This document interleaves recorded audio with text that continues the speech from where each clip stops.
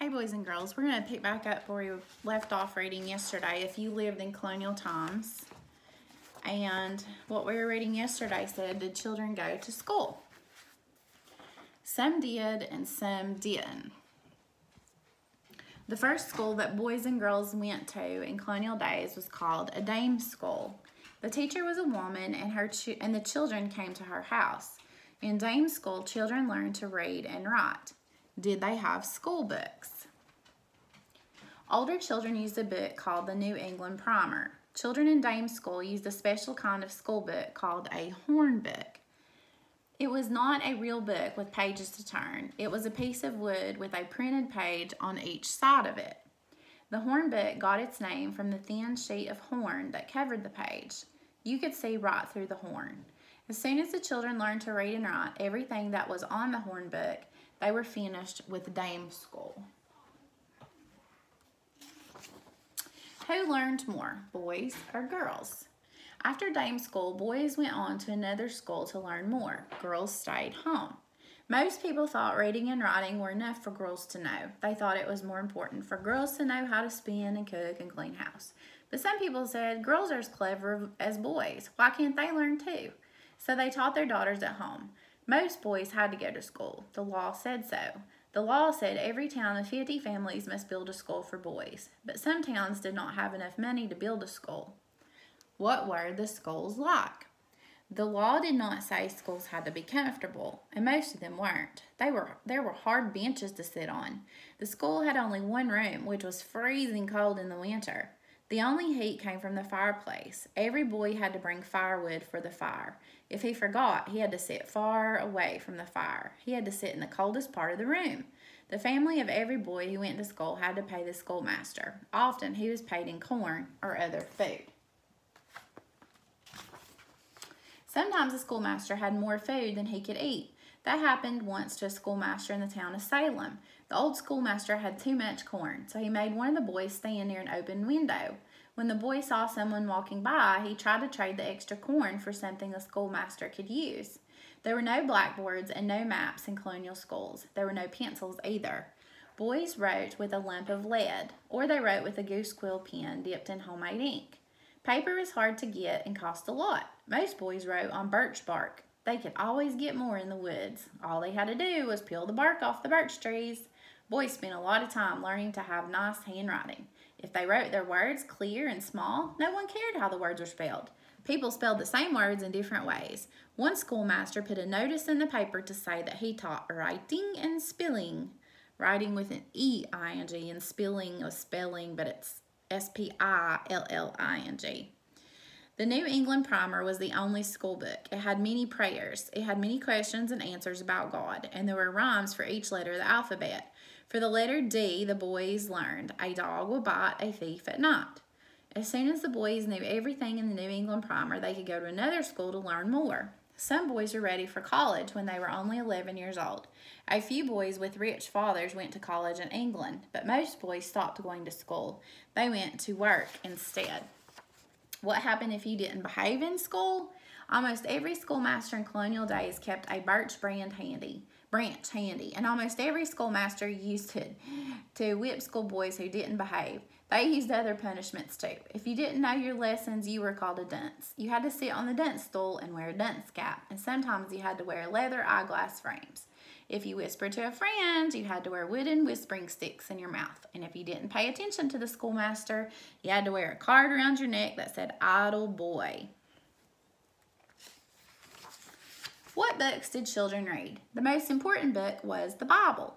Children were taught to read just so they could read the Bible. There weren't many religious books. There were serious books about manners, and there were scary stories about poems and the terrible things that would happen to children who were not good. And there were no storybooks for children.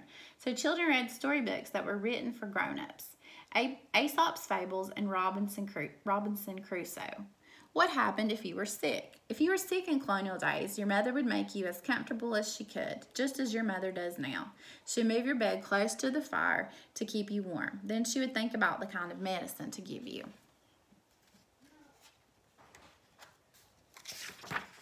What kind of medicines did people use? Plants called herbs were said to cure almost anything. If you cut yourself, herbs made the cut heal faster.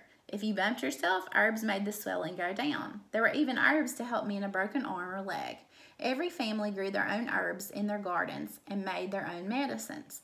Herbs might be good for you, but they tasted bitter. Your mother would mix the herbs in honey to make them taste better. Some people had strange ideas about medicines. A tea made of ground up, roasted toads was supposed to be good for you. Governor John Winthrop of Massachusetts Bay Colony wrote down what to do when someone had a high fever. Cut the sick man's nails and put the nails in a little bag of fine linen. Put a live eel into a tub of water. Tie the little bag of nails around the eel's neck. The eel will die and the sick man will get better. When a baby gets his first teeth, he often does not feel well. In colonial days, a mother would tie a string of berries around the baby's neck. This was supposed to make the baby feel better. But if the baby still cried, his mother tried another kind of necklace, a necklace made out of the teeth of a wolf. Anybody could sell medicine in colonial days. Sometimes the medicines that were sold were not medicines at all. Some people sold plain water and called it medicine. They put water in a fancy bottle and gave it a fancy name. Were there doctors in colonial days? There weren't many doctors. If you were very sick, your neighbor might be sent to get the nearest doctor. Your neighbor might have to ride all day before he found a doctor. Many doctors thought a good way to cure a sick man was to bleed him. The doctor would cut open a vein in the sick man's arm and let some blood flow out. If the sick man did not get better, people said it was the fault of the witches. In colonial days, many people believed in witches. They said that witches cast evil spells. It was the witches with their evil spells that made people sick, they said. What happened if you went out at night? In the town, watchman saw you out. If if the watchman saw you outside after dark, he might say, "What are you doing? Where are you going? You are supposed to be home." And if you did not have a good reason, the town watchman would scold you and take you right home. It was against the law to walk around at night, and it was a town watchman's job to see that everyone obeyed the law. The town watchman never knew what he might have to do next. Sometimes he had to take a lost cow home to its owner. Sometimes he had to be a kind of alarm clock. If someone had to take a trip early in the morning, he would ask the town watchman to wake him up. One town watchman walked the streets for three nights with a man who had such a bad toothache he could not go to sleep. What did people do on Sunday? Sunday was the Lord's Day. It was a day to think about God. People thought about God at home and they thought about God in their church called a meeting house. People went to the meeting house for two hours on Sunday morning. They went to the meeting house again for two hours on Sunday afternoon. Everybody had to go, babies too. Babies who were too little to sit up straight on the wooden benches had a special place in the meeting house.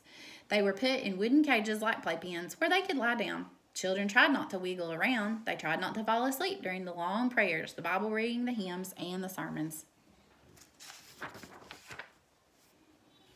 What happened if you fell asleep in the meeting house? If a baby fell asleep, no one cared. But if you fell asleep, you would get a rap on the head from the church watchman. The watchman was called a tithing man. It was his job to see that everyone paid attention. The tithing man carried a long pole. On one end was a furry foxtail or a squirrel tail. On the other end was a wooden knob. The tithing man used the wooden knob on the heads of the children who fell asleep or talked or giggled. He used the furry tail to tickle the noses of the old men and women who fell asleep. If anyone smiled or whispered in the meeting house, the tithing man wrote down his name. The ones who smiled or whispered had to pay a fine. Where did people eat on Sunday? When the long morning service was over, it was time for lunch. The people who lived far away from the meeting house, meeting house did not go home for lunch. They went to the Sabbath house nearby. Then back they went to the meeting house for the afternoon services. At the end of the long day, the minister told the news of the week. He had good news and he had bad news. He told who was getting married and who had a new baby. He told who had broken the laws and who had to be punished.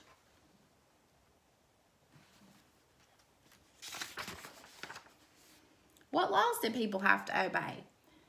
There were laws that said that no one who that no one should use bad words or should drink too much. It was against the law for a baker to bake bad bread. It was against the law for a brewer to brew bad things. There were laws that said every man had to work on the town roads for a few days each month. But many people did not obey this law. That is why the roads were so bad. In one town, there was even a law that said every man had to shoot three crows or 12 blackbirds between the middle of March and the last day of June. What was the reason for this law? The blackbirds and the crows ate the corn and the fruit. There were special laws for poor people. A poor man's clothes could not be as fancy as the clothes of a rich man. The town of Boston had a law about dogs. The law said if a man was too poor to feed a dog, then he could not own one. A rich man could only have one dog. There were laws for every day of the week. There were special laws for Sunday. What were the special Sunday laws? The most important Sunday law was a law that said everybody had to go to the meeting house on Lord's Day. On Lord's Day, you could not laugh or play games. No one could do any work. You could not even make your bed. A man could not shave or cut his hair, and it was against the law to kiss your mother or father on Sunday. Who made all these laws? The men of the town voted for the laws. They voted at a town meeting that was held at the meeting house. No laws are passed at the town meetings. Could everyone vote in colonial days? No, women could never vote. And a man could vote only if he was a member of the church and if he owned land. Hmm, that's interesting, isn't it?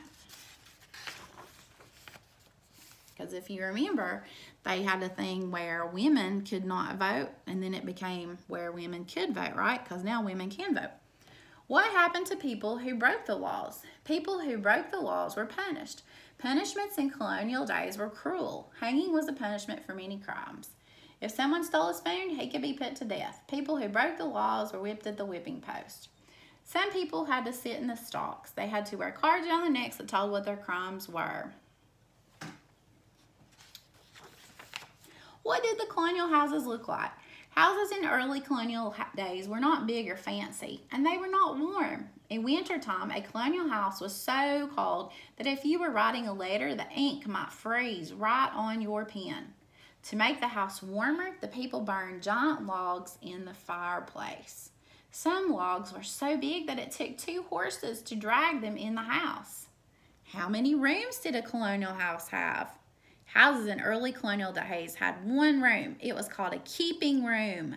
The family cooked and ate worked in the keeping room. Here too, the grown-ups and the babies slept. Older children slept in the attic. So one room in the colonial house, and this is where most things happened was in that one room in the colonial house. And we'll read a little bit more tomorrow. All right. Now, for your what you're supposed to do with your parents today. And I hope everybody um, did your um, listening and learning and skills in today. And for your writing, it says that um, your parents were supposed to ask you to draw and write in response to today's writing journal prompt. And it said, What were some of the early English settlements in North America? And again, it's not about what I read to you, but it was about um, what were some of the early English settlements in North America. So I hope that you wrote and drew um, with your parents and hope you've done your activity pages and your skills. And also, um, there's American Symbols, um, a link to that that you can read. So, um, hope you guys had a great day, and I will see you, um, talk with you tomorrow. All right, bye.